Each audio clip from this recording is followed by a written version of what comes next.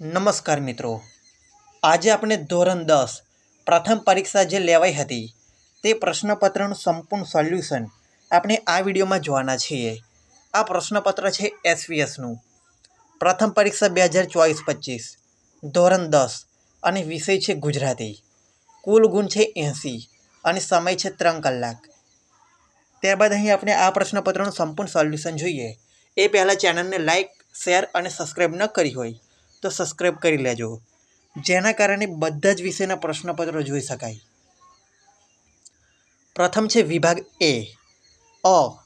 નીચેના જોડકા યોગ્ય રીતે જોડીને ફરીથી લખો. અહીંયા પ્રથમ જોડકું છે.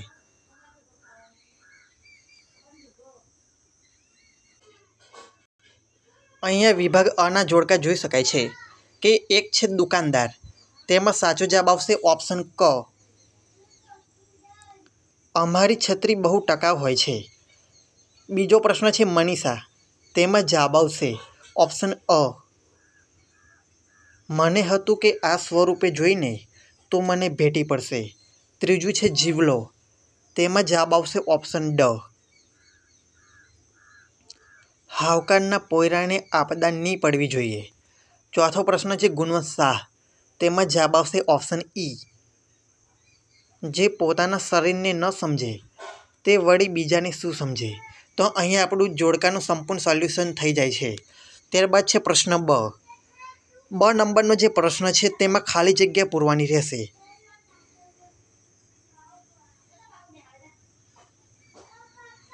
બ છે કૌંસમાં આપેલા વિકલ્પોમાંથી. યોગ્ય વિકલ્પ પસંદ કરી ખાલી જગ્યા પૂરો. ખાલી જગ્યામાં છે પ્રશ્ન પાંચ. નીનાના પતિ સંજયનું મૃત્યુ. ખાલી જગ્યા ફેલ થવાથી થયું. તો તેમાં જવાબ આવશે કિડની.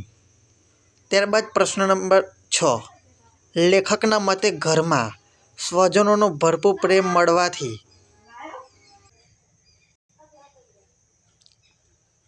લેખકના મતે ઘરમાં સ્વજનોનો ભરપૂર પ્રેમ મળવાથી માણસ ખાલી જગ્યા બનતો અટકી જશે. તેમાં જવાબ આવશે વ્યસની. પ્રશ્ન નંબર સાત. ભરૂચી નાકાથી બોરભાઠા આગળ વહેતી નર્મદાને લેખકે ખાલી જગ્યા કહી છે. જવાબ આવશે ભેખડવંતી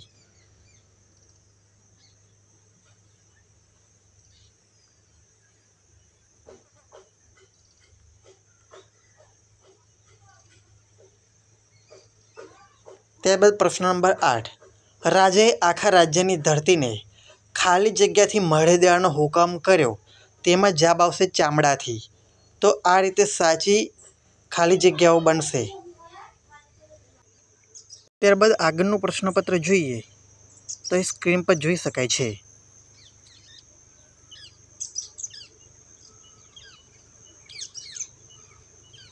ક નંબરનો પ્રશ્ન છે. નીચે આપેલા પ્રશ્નોના એક વાક્યમાં ઉત્તર લખો. તેમાં નવમા નંબરનો પ્રશ્ન છે. નરેને કઈ તાલીમ મેળવી હતી? તો જવાબ છે. નરેને વન રક્ષકની તાલીમ મેળવી હતી. પ્રશ્ન દસ. સાહકાર હિસાબનું ગણિત કેવું ગણતા? તો આપણે આ પ્રશ્નનો જવાબ જોઈએ. નવમા નંબરના પ્રશ્નનો જવાબ છે. શાહુકાર હિસાબનું ગણિત સત્તર પંચા પંચાનું એમ ખોટું ગણતા. તો અહીં સ્ક્રીન પર સાચો જવાબ આપવામાં આવેલો છે.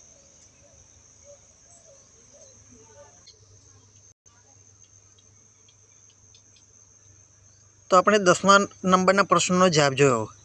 ત્યારબાદ આવે છે ઓપ્શન ડ. નીચે આપેલા પ્રશ્નોના ત્રણ ચાર વાક્યોમાં ઉત્તર લખો. ગમે તે બે.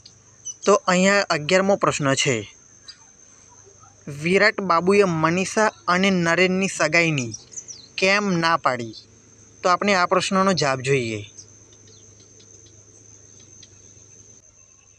અહીં અગિયારમા નંબરના પ્રશ્નનો જવાબ સ્ક્રીન પર આપવામાં આવેલું છે. તમે તેનો સ્ક્રીનશોટ પણ લઈ શકો છો અથવા તો વીડિયો સ્કીપ કરીને પણ લખી શકો છો. વિરાટ બાબુને ખબર હતી કે તેની દીકરી મનીષા નમની નાજુક અને ડરપોક છે. મનીષા નાની અમથી ઘરોડીથી પણ ડરી જતી હતી. સિંહની એકા ત્રાળ સાંભળીને જ તે મરી જશે અને નરેનને વિધુરનું જીવન જીવવું પડશે. એવું લાગતા મનીષાના પિતા વિરાટ બાબુએ મનીષા અને નરેનની સગાઈની ના પાડી. ત્યારબાદ આવે છે પ્રશ્ન નંબર બાર. રવિન્દ્રનાથ ટાગોરના રાજાના કુંવર કાવ્યનો હેતુ જણાવો. તો આપણે આ પ્રશ્નનો જવાબ જોઈએ. અહીંયા સ્ક્રીન પર તેનો જવાબ જોઈ શકાય છે. રવિન્દ્રનાથ ટાગોરની વાર્તાનું તાત્પર્ય જણાવો. રાજા પોતાના કુંવરને કાંટો ન વાગે. એ માટે પોતાના આખા રાજ્યની ધરતીને ચામડાથી મઢી દેવાનો હુકમ ફરમાવે છે. આખી ધરતીને ચામડાથી મઢી દેવાનું કામ અશક્ય છે. એમ સમજીને એના રાજ્યના એક માણસને એક વ્યવહારુ ઉપાય સૂજે છે. તે રાજાના કુંવર માટે ચામડાના બૂટ સીવી આપે છે, જેથી કુંવરને ધરતી પર ચાલતા કાંટો ન વાગે. આ વાર્તાનું તાત્પર્ય એ છે કે જગતને સુધારવાના મિથ્યા પ્રયત્નો છોડી પોતાની જાતને સુધારવી. તો અહીં તેનો જવાબ આપવામાં આવ્યો હતો. ત્યારબાદ આવે છે પ્રશ્ન નંબર તેર. ડાંગના આદિવાસીઓની મરણને ઉજવવાની રીત લેખકને કેવી લાગે છે? આ પ્રશ્નનો જવાબ જોઈએ. અહીં સ્ક્રીન પર તેનો જવાબ આપવામાં આવેલો છે. ડાંગના આદિવાસીઓ, કોઈનું મરણ થયું હોય તો તેની નનામીને લગ્ન યાત્રાની જેમ મોટું સરઘસ કાઢીને સ્મશાને લઈ જતા. તેઓ મૃત્યુના માનમાં રસ્તામાં ફટાકડા ફોડતા.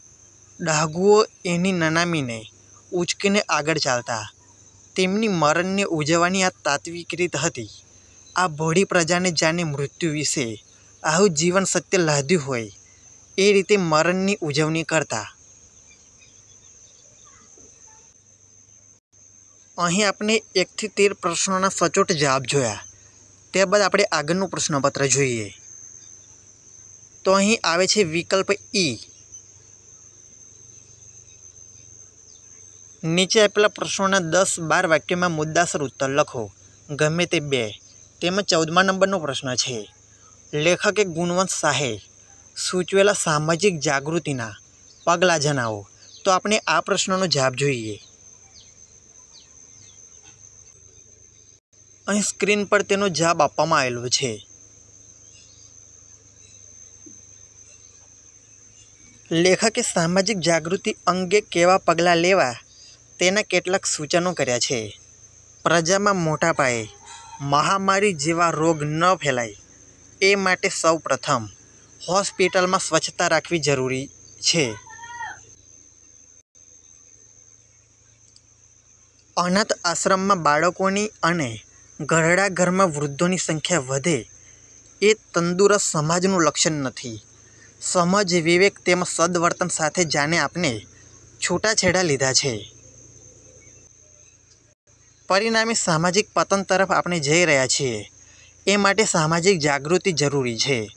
ખાણીપીણીની વસ્તુઓ તેમજ એની રીત ભાતો અયોગ્ય છે ને સામાજિક સ્વાસ્થ્યને નુકસાન પહોંચાડે છે. એ અંગે સાચી સમજ તેમજ જાણકારી સમાજની જાગૃતિ માટે જરૂરી છે. તમાકુના ગુટકા, ધૂમ્રપાન વગેરે વ્યસનો આરોગ્ય માટે નુકસાનકારક છે અને રોગનું મૂળ કારણ ગરીબી અને ગંદકી છે. વ્યસનો વ્યક્તિ તેમજ સમાજના સ્વાસ્થ્યને નુકસાન પહોંચાડે છે. આ વાત પ્રજા સમજે એવી પરિસ્થિતિ સમાજે ઊભી કરવી જોઈએ. તો અહીં આપણા પ્રશ્નનો સચોટ જવાબ સ્ક્રીન પર આપેલો છે. તેનો તમે સ્ક્રીનશોટ પણ લઈ શકો છો અથવા તો વીડિયો સ્કીપ કરીને પણ લખી શકો છો. ત્યારબાદ આગળનું પ્રશ્નપત્ર જોઈએ. તો અહીં પ્રશ્ન નંબર પંદર આપવામાં આવેલો છે.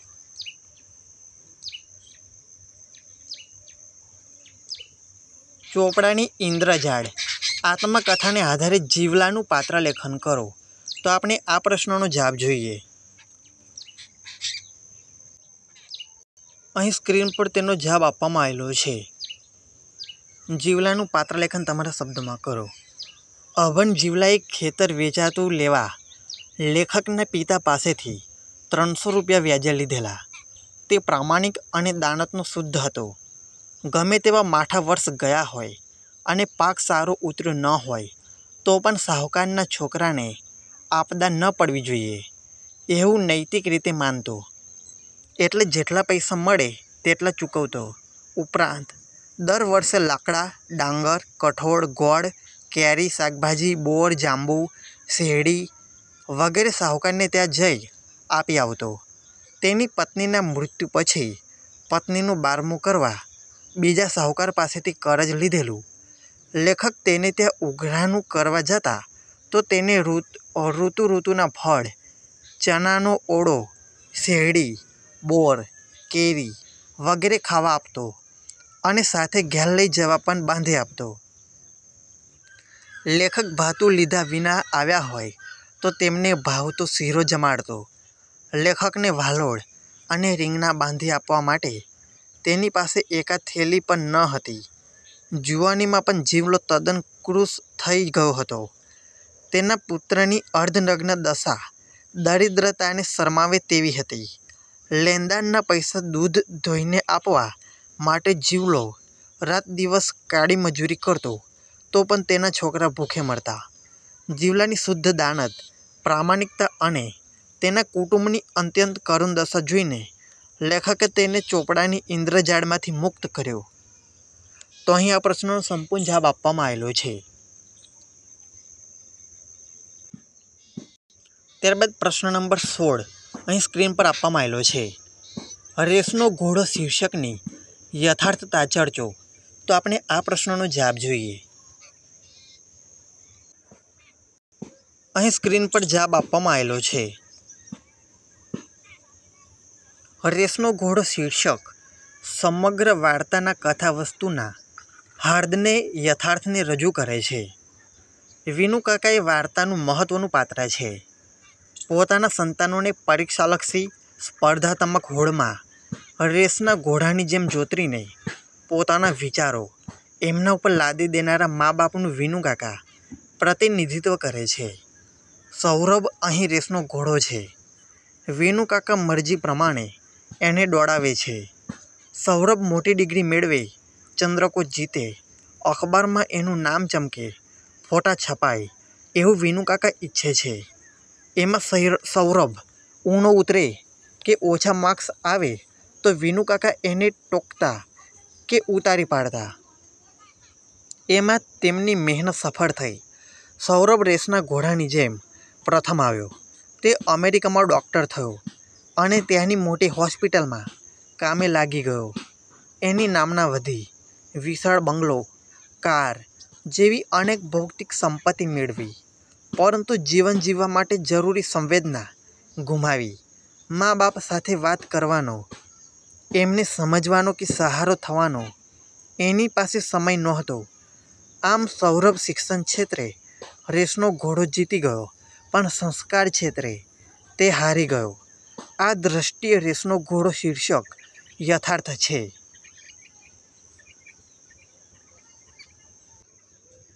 અહીં આપણે વિભાગ એના પ્રશ્નપત્ર, વિભાગ એમાં જે પ્રશ્નપત્ર હતું, તે વિભાગ એનું સંપૂર્ણ સોલ્યુશન આપણે જોયું.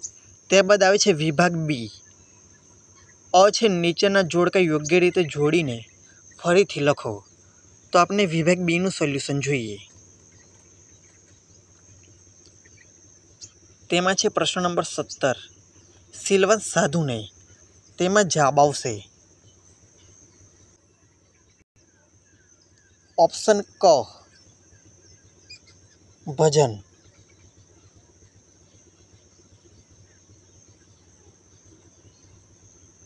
ત્યારબાદ છે અઢાર નંબરનો પ્રશ્ન. દીકરી, તેમાં જવાબ આવશે. ઓપ્શન ડ, ગઝલ. ઓગણીસ છે, હું એવો ગુજરાતી. તેમાં જવાબ આવશે ઓપ્શન ઈ ગીત. વીસ છે, વતનથી વિદાય થતા. તેમાં જવાબ આવશે ઓપ્શન અ, સોનેટ. આ રીતે સાચું જોડકું બનશે. ત્યારબાદ છે, પ્રશ્ન બ. કૌંસમાં આપેલા વિકલ્પોમાંથી યોગ્ય વિકલ્પ પસંદ કરી. ખાલી જગ્યા પૂરો. તેમાં છે એકવીસ નંબરનો પ્રશ્ન. વૈષ્ણવજન પદ ખાલી જગ્યા અતિ પ્રિય હતું. તેમાં જવાબ આવશે ગાંધીજી. બાવીસ નંબરનો પ્રશ્ન. કવિ બેદિલના મતે દીકરી એટલે જવાબ આવશે સ્નેહનું ઝરનું ત્રેવીસનો ત્રેવીસ નંબરનો પ્રશ્ન. રાધાની આંખમાં ઉદાસી હોવાનું કારણ ખાલી જગ્યા છે. તેમાં જવાબ આવશે, કૃષ્ણ વિરહ. ચોવીસ નંબરનો પ્રશ્ન, હૈયું ઉજળડાય ખાલી જગ્યા ફૂટે. તેમાં જવાબ આવશે, રક્ત ટસિયા. આ રીતે સાજ, ખાલી જગ્યાઓના જવાબ બનશે. ત્યારબાદ છે પ્રશ્ન ક.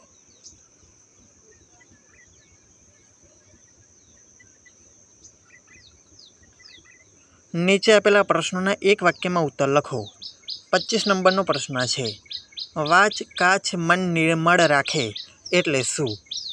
ત્યારબાદ છવ્વીસ નંબરનો પ્રશ્ન છે, હું એવો ગુજરાતી ગીતમાં મૌન માટે ગાંધીજીને તો સરદારને શા માટે યાદ કર્યા છે? તો આપણે પચીસ અને છવ્વીસ બંને પ્રશ્નોના જવાબ જોઈએ. તો આપણો જે પચીસમાં નંબરનો પ્રશ્ન હતો તેનો જવાબ અહીં સ્ક્રીન પર આપવામાં આવેલો છે. વાચ કાચ મન નિર્મળ રાખે એટલે વાણી ચારિત્ર્ય અને મનને સ્થિર રાખે. ત્યારબાદ છવ્વીસમાં નંબરના પ્રશ્નોનો જવાબ અહીં સ્ક્રીન પર આપવામાં આવેલો છે. હું એવો ગુજરાતી કાવ્યમાં કવિ, મહાત્મા ગાંધીના મૌનને અને સરદાર પટેલની હાકલ એટલે કે પડકારને યાદ કરે છે. તો અહીં પચીસ અને છવ્વીસ બંને પ્રશ્નોના જવાબ સ્ક્રીન પર આપેલા છે. તેનો તમે સ્ક્રીનશોટ પણ લઈ શકો છો અથવા તો વીડિયો સ્કીપ કરીને પણ લખી શકો છો. પ્રશ્ન નંબર સત્યાવીસ.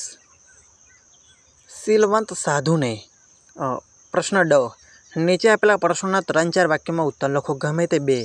તેમાં સત્યાવીસ નંબરનો પ્રશ્ન છે, શીલવંત સાધુને કાવ્યની કવયત્રી વારંવાર નમવાનું શા માટે કહે છે? આ પ્રશ્નનો જવાબ આપણે જોઈએ. અહીં સ્ક્રીન પર તેનો જવાબ આપવામાં આવેલો છે. શીલવંત સાધુમાં આદર્શ. સંતના તમામ ગુણો હોય છે.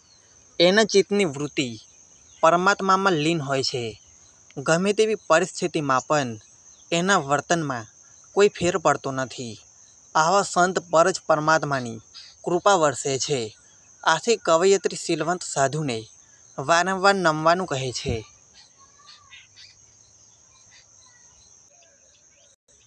ત્યારબાદ આવે છે પ્રશ્ન નંબર અઠ્યાવીસ. હું સાવજની ત્રાડ એટલે શું? ત્યારબાદ ઓગણત્રીસમો પ્રશ્ન છે. કવિ પક્ષીને પામવા શું કરવાનું કહે છે? તો આપણે આ બંને પ્રશ્નોના જવાબ જોઈએ. અઠ્યાવીસમાં નંબરના પ્રશ્નનો જવાબ અહીં સ્ક્રીન પર આપેલો છે. સાવજ એ ગુજરાત અને ગુજરાતીનું ગૌરવ છે. હું સાવજ ત્રાડ એટલે હું ગુજરાતી છું. એટલે એ ગૌરવવંતો સાવજ અને તેની ત્રાડ હું પોતે જ છું. તો અહીં તેનો જવાબ આપવામાં આવેલો છે. ત્યારબાદ ઓગણત્રીસમાં નંબરનો પ્રશ્ન હતો કે કવિ પક્ષીને પામવા શું કરવાનું કહે છે? તો તેનો જવાબ પણ અહીં આપવામાં આવેલો છે. કવિ પક્ષીને પામવા કહે છે કે તેના પર તીર ચલાવવાનું નથી, પણ ક્યાંક છુપાઈને તેના મધુર ગીત કલરવ સાંભળવાના છે. તેનાથી પક્ષીના મધુર કલરવનું સૌંદર્ય માનવા મળશે અને પક્ષી તેના પ્રભુ સાથે તારા હૈયામાં વાસ કરશે. તો અહીં તેનો સંપૂર્ણ જવાબ આપવામાં આવેલો છે.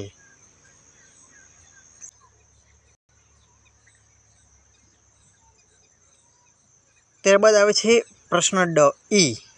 નીચે આપેલા પ્રશ્નોના દસ બાર વાક્યમાં મુદ્દાસર ઉત્તર લખો. ગમે તે બે. તેમાં ત્રીસ નંબરનો પ્રશ્ન છે. નરસિંહ મહેતા, વૈષ્ણવજનના કયા કયા લક્ષણો જણાવે છે? તે તમારા શબ્દોમાં વનવો તો આપણે આ પ્રશ્નનો જવાબ જોઈએ. અહીં સ્ક્રીન પર તેનો સંપૂર્ણ જવાબ આપવામાં આવેલો છે. વૈષ્ણવજનનો એક સામાન્ય અર્થ છે, વિષ્ણુ ભગવાનની નિત્ય ઉપાસના કરનાર. વિષ્ણુ ભક્ત. નરસિંહ મહેતાએ આ સામાન્ય સમજ ઉપરાંત વૈષ્ણવ વજનના અન્ય વિશેષ લક્ષણો દર્શાવીને વૈષ્ણવ વજન શબ્દના અર્થને વિશાળ જીવન સંદર્ભો સાથે પદ દ્વારા નવો અર્થ આપ્યો. નરસિંહ મહેતાની દૃષ્ટિએ નીચેના લક્ષણો ધરાવનાર માનવી સાચા અર્થમાં વૈષ્ણવજન છે. સાચો વૈષ્ણવજન. પરાઈ પીડાને આત્મસાત કરી ભલાઈ દ્વારા એ પીડાને સહેજ પણ અભિમાન લાવ્યા વિના પવિત્ર ભાવથી દૂર કરવા પ્રયત્નશીલ રહે છે. તે નમ્ર હોય છે, સૌને વંદન કરે છે, સૌનો આદર પામે છે. કોઈ કોઈ નિંદા કરે તો ડરતો નથી, પણ પોતે કોઈની નિંદા કરતો નથી. મન વચન તેમજ કર્મમાં કશો વિરોધાભાસ હોતો નથી. એ જ એનું સાચું ચારિત્ર્ય છે. કવિ આવા વૈષ્ણવજનની માતાના જીવનને ધન્ય માને છે. એ વૈષ્ણવ સાચો છે, જે સમાન દૃષ્ટિથી સૌને જુએ છે. એને મન કોઈ મોટો નથી, કોઈ નાનું નથી. જે ઈચ્છા કે કામના સૌને દુઃખી કરે છે, એનો એને ત્યાગ કર્યો છે. પર સ્ત્રીને માતા સમાન ગણે છે. સાચું બોલે છે, સાચું જીવે છે.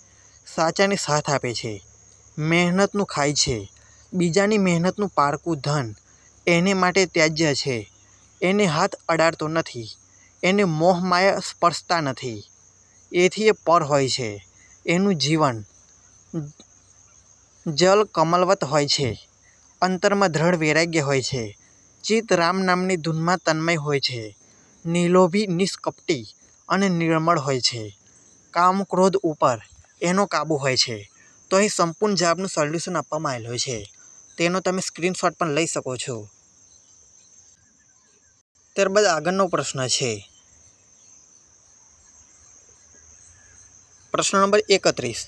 દીકરી ગઝલ દ્વારા પિતા તરીકે કવિએ દીકરી પ્રત્યેનો મનોભાવ કઈ રીતે વ્યક્ત કર્યા છે? તો આપણે આ પ્રશ્નનો જવાબ જોઈએ.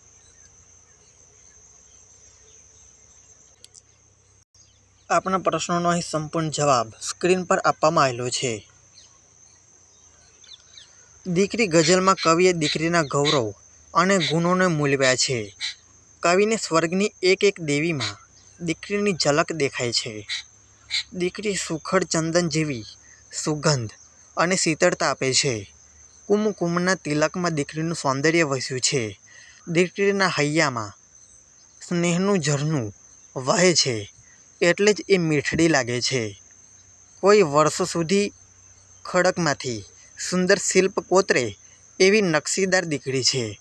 લાજ, મર્યાદા, શરમ, ગૌરીવ્રત જેવી પરંપરાગત હારમાળામાં દીકરી હંમેશા ફળક, બીકમાં ઉછળતી રહી છે. એને શિરે હાથ ફેરવી વાલ કર્યું, આશીષ આપ્યા, એ દીકરી આજે કેવી સમજદાર થઈ ગઈ છે. આજે એ મને હાથ દે છે. અર્થાત મને સહારો દે છે. આવી વહાલી દીકરીને કેમ ભૂલાય? જ્યારે શરણાઈના સૂર સાંભળું છું.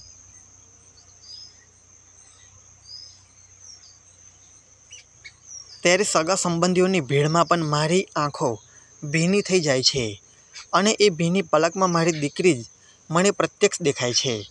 આમ વહાલી અને મીઠડી દીકરીના ગૌરવભર્યા સ્થાન અને માન હંમેશા પિતાના હૃદયમાં રહેવાના.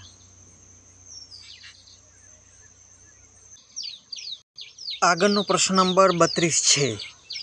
વતનથી વિદાય થતા કવિની ભ્રમણા જ તેમની વેદનાને કઈ રીતે ઘેરી બનાવે છે?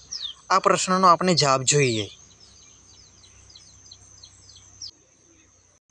આપણા પ્રશ્નનો જવાબ અહીં સ્ક્રીન પર આપવામાં આવેલો છે કે વતનથી વિદાય થતા કવિની ભ્રમણા જ તેમની વેદનાને કઈ રીતે ઘેરી બનાવે છે?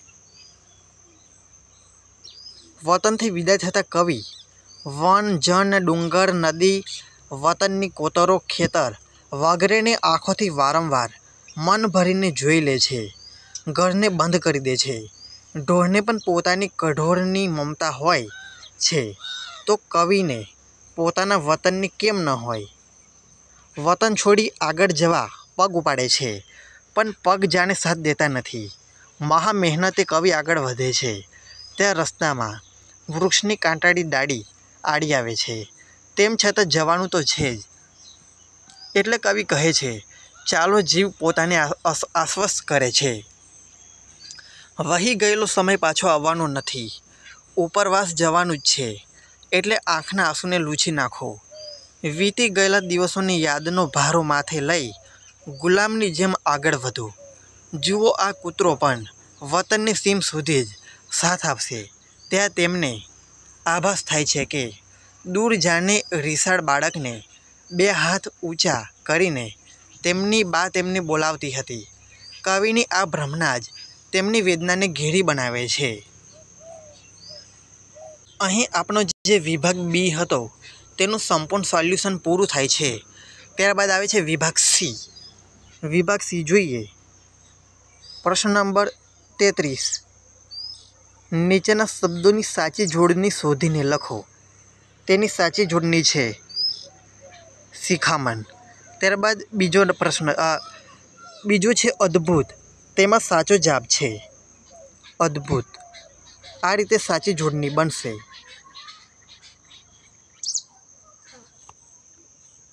પ્રશ્ન નંબર ચોત્રીસ.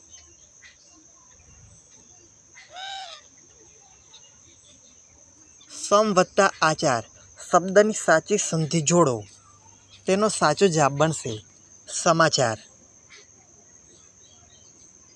ત્યારબાદ પ્રશ્ન નંબર પાંત્રીસ. ત્રિકોણ શબ્દનો સમાસ ઓળખાવો. તેનો સાચો જવાબ છે કર્મધારય. છત્રીસ. બંને શબ્દના જોડણી ભેદે થતા અર્થભેદ જણાવો. તેનો સાચો જવાબ છે એક છે માંદા, તેમાં જવાબ આવશે બીમાર. બે છે માદા, તેમાં જવાબ આવશે સ્ત્રી જાત. તો આ રીતે સાચો જવાબ બનશે. સાડત્રીસ. કોતરે છે કોઈ વર્ષોથી ખડકમાં દીકરી, વાક્યમાંના અલંકારનો પ્રકાર જણાવો. તેમાં જવાબ આવશે સજીવારોપણ. પ્રશ્ન આડત્રીસ. અભિનંદન શબ્દમાં કયો પ્રત્યય રહેલો છે? તેમાં જવાબ આવશે પૂર્વ પ્રત્યય. ઓગણચાલીસ. નીચેના શબ્દોના સામાનાથી શબ્દ શોધીને લખો. એક છે ઉમળકો, તેમાં જવાબ આવશે ઉમંગ. બે છે વિભાવરી, તેમાં જવાબ આવશે રાત્રિ. પ્રશ્ન ચાલીસ. દાળ ચોખા સંજ્ઞાનો આપેલા વિકલ્પમાંથી સાચો પ્રકાર શોધીને લખો.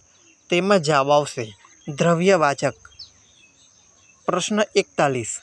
નીચેના રૂઢિપ્રયોગનો અર્થ આપો. તુરિયાનો તાળ જાગી ઉઠો તેમાં સાચો જાપ છે. સમજણ શક્તિનો ઉદય થવો. પ્રશ્ન નંબર બેતાલીસ. નીચે આપેલ કહેવતનો અર્થ લખો. પાકા ઘડે કાંઠા ન ચઢે. જાપ છે મોટી ઉંમરે નવું શીખી ન શકાય. પ્રશ્ન તેતાલીસ. નીચેના શબ્દ સમૂહ માટે એક શબ્દ લખો. હાથીનું ટોળું એટલે જવાબ આવશે વદોર પ્રશ્ન નંબર ચુવાલીસ. નીચેના શબ્દનો વિરુદ્ધાર્થી શબ્દ લખો. સુગંધ. તો જવાબ આવશે દુર્ગંધ. પ્રશ્ન પિસ્તાલીસ. નીચે આપેલા વાક્યને કર્મણીમાં ફેરવો. હું પેપર લખું છું.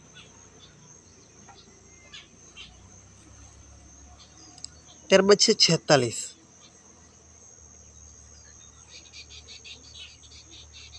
પ્રશ્ન નંબર એકાવન. નીચેની પંક્તિનો છંદ ઓળખાવો. અંતરની એરન પર કોની પડે હથોડી ચેતનરૂપ તેમાં જવાબ આવશે સવૈયા છંદ. પ્રશ્ન નંબર બાવન. યમન સભ લગા. કયા છંદનું બંધારણ છે તે જણાવો. જવાબ આવશે શીખડીની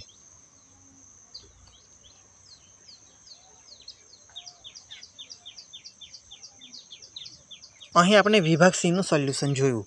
ત્યારબાદ આવે છે વિભાગ ડી વિભાગ ડીમાં પ્રથમ પ્રશ્ન છે, ઘટમાં ઘોડા થનગને આતમ વિજે પાંખ અનદીઠેલી ભૂમ પર યૌવન માંડે આંખ, તો આનો અર્થ વિસ્તાર કરવાનો રહેશે. ત્યારબાદ તેના અથવામાં પણ આપેલું છે, ન રાખ આસ કદી કોઈ પાસ, કરી શકે કોણ પછી તને નિરાશ. તો આ બંનેમાંથી કોઈ એકનો અર્થ વિસ્તાર કરવાનો રહેશે. ત્યારબાદ છે ચોપ્પનમો પ્રશ્ન તમારી શાળામાં યોજાયેલ વૃક્ષારોપણ કાર્યક્રમનો અહેવાલ આશરે એકસો શબ્દોમાં લખો. અહીં અહેવાલ લેખન આપવામાં આવેલો છે. વૃક્ષારોપણ દિનની ઉજવણી. ડાકોર તારીખ દસ છ બે હજાર ઓગણીસ. ડાકોરની શાળામાં દર વર્ષે વૃક્ષારોપણ દિન ઉજવવામાં આવે છે. આ વર્ષ પણ, આ વર્ષે પણ અમારી શાળામાં પાંચમી જૂનને વૃક્ષારોપણ દિન તરીકે ઉજવવામાં આવ્યો હતો. શાળાના વિશાળ પટાંગણમાં સરખા અંતરે પચીસ ખાડા તૈયાર કરવામાં આવ્યા હતા. પાટાંગણમાં ઠેર ઠેર પ્લા, પોસ્ટરો લગાડવામાં આવ્યા હતા, જેમાં એક બાળ, એક ઝાડ, વૃક્ષ જતન, આબાદ વતન વૃક્ષો વાવો વરસાદ લાવો વૃક્ષો વાવો પર્યાવરણ બચાવો વગેરે સૂત્રો લખેલા હતા. શાળાના ટ્રસ્ટી શ્રી અમૃતભાઈ પટેલના હસ્તે વૃક્ષારોપણ દિન નિમિત્તે ઉદ્ઘાટન વિધિ કરવામાં આવી. એમના ટૂંકા પ્રવચનમાં એમને વૃક્ષોનો મહિમા સમજાવ્યો. સૌએ તાળીઓના ગડગડાટથી તેમનું અભિવાદન કર્યું. પછી તૈયાર રખાયેલા એક ખાડામાં તેમણે એક વૃક્ષ રોપી તેને પાણી પાયું. ત્યાર પછી વિદ્યાર્થીઓ દ્વારા જુદા જુદા ખાડાઓમાં વૃક્ષારોપણ કરવામાં આવ્યું. વૃક્ષારોપણ દિન નિમિત્તે જુદા જુદા કાર્યક્રમો રાખવામાં આવ્યા હતા. વૃક્ષો આપના મિત્રો નામનું પ્રદર્શન ખુલ્લું મૂકવામાં આવ્યું હતું. ચિત્ર સ્પર્ધા વૃક્ષો વિશેની વક્તૃત્વ સ્પર્ધા વૃક્ષો માટેના ટ્રી ગાર્ડ્સ વૃક્ષ પ્રેમી ધીરુભાઈ શાહનું વક્તવ્ય અને વન ભોજન આમ વિવિધ કાર્યક્રમો યોજવામાં આવ્યા. આ વૃક્ષારોપણ દિન અમારા માટે માહિતી અને આનંદનું પર્વ બની રહ્યું હતું. તો અહીં તેનો સંપૂર્ણ અહેવાલ લખવામાં આવ્યો હતો. ત્યારબાદ પ્રશ્નપત્રમાં આગળ જોઈએ તો પ્રશ્ન નંબર પંચાવન. નીચે આપેલા ગદ્યખંડનો આશ્રય ત્રીજા ભાગમાં સંક્ષેપ કરી તેને યોગ્ય શીર્ષક આપો. તો અહીં જે ફકરો આપવામાં આવેલો છે, તેનું સંક્ષેપીકરણ કરવાનું રહેશે. ત્યારબાદ એને એક શીર્ષક પણ આપવાનું રહેશે. પ્રશ્ન નંબર છપ્પન. મુદ્દાને આધારિત બસો પચાસ શબ્દોમાં નિબંધ લખો. પ્રથમ નિબંધ છે, સૃષ્ટિનો છે એક જ પોકાર, દીકરી બચાવી કરો ઉદ્ધાર. તો આપણે આ નિબંધ જોઈએ. અહીંયા ત્રણ નિબંધ આપવામાં આવેલા છે. ત્રણમાંથી કોઈ પણ એક લખવાનો રહેશે.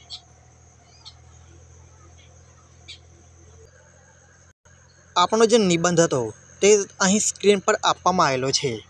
તો તમે આ નિબંધનો સ્ક્રીનશોટ લઈ શકો છો અથવા તો વીડિયો સ્કીપ કરીને પણ નિબંધ લખી શકો છો. તો અહીંયા સ્ક્રીન પર નિબંધ આપવામાં આવેલો છે. તો આ નિબંધ તમારે વીડિયો સ્કીપ કરીને પણ લખી શકો છો અથવા તો વીડિયો સ્કીપ કરીને તેનો સ્ક્રીનશોટ પણ તમે લઈ શકો છો. તો અહીં આ રીતે નિબંધ આપવામાં આવેલો છે. તો તમે આના આધારે સંપૂર્ણ નિબંધ લખી શકશો.